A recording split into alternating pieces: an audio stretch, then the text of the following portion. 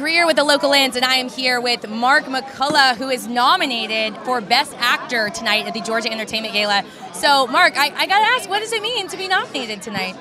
Well, it's a real pleasure. You know, it was a big surprise, and uh, yeah, just excited. So coming up here, I'm, you know, have such respect for the other nominees. So uh, just looking forward to seeing what happens. Well, I, am I'm, I'm so excited that I got to meet you because um, you know you're so nice in person, Mark, and you know on camera you you play a lot of various roles that are sometimes violent and not that kind. So true, um, true. you know I, I was impressed that you know hey you're actually a really nice guy in real life. So what is it like playing these really intense roles? Well, first of all, it's make believe. Oh, so, it is. Yeah. Oh man. Oh, but it's so I much know. fun. Like you know, it, what I do is what I did when I was seven years old, which is walk onto a set and play make believe, and to get to pretend to be the bad guy.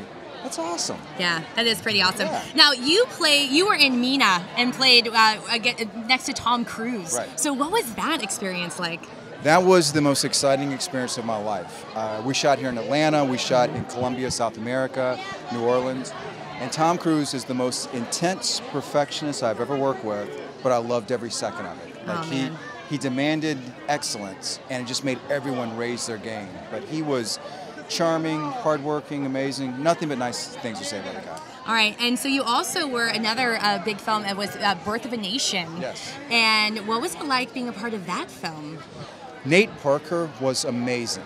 Uh, you know, working with someone like Nate, who is an actor and also a director, he understands our language. He understands how to talk to us, Mm-hmm. and it was amazing because he was the writer, director, producer, and star. Wow. But he was so kind and took his time with all the actors.